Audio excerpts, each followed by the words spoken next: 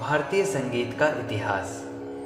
संगीत के काल विभाजन को चार भागों में बांटा जा सकता है।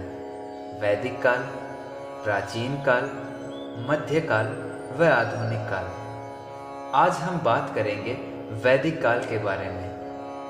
वैदिक काल का समय 2000 ईसा पूर्व से 1000 ईसा पूर्व तक माना जाता है। इस काल में चारों वेदों की रचना हुई।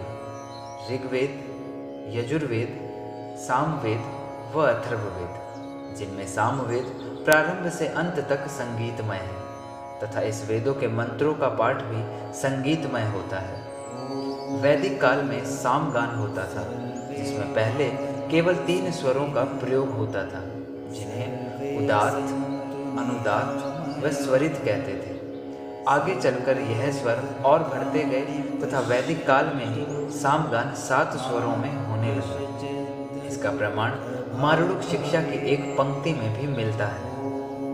सामगान के तीन भाग, प्रस्ताव, प्रतिहार, उद्गीत।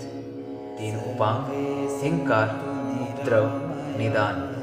तथा तीन गायक, प्रस्तोता, उद्गाता व प्रतिहर्ता होते थे। वैदिक काल में संगीत के साथ साथ नृत्य कला भी प्रचलित थी, जिसका प्रमाण नृत्य करती प्राचीन मूर्तियाँ हैं।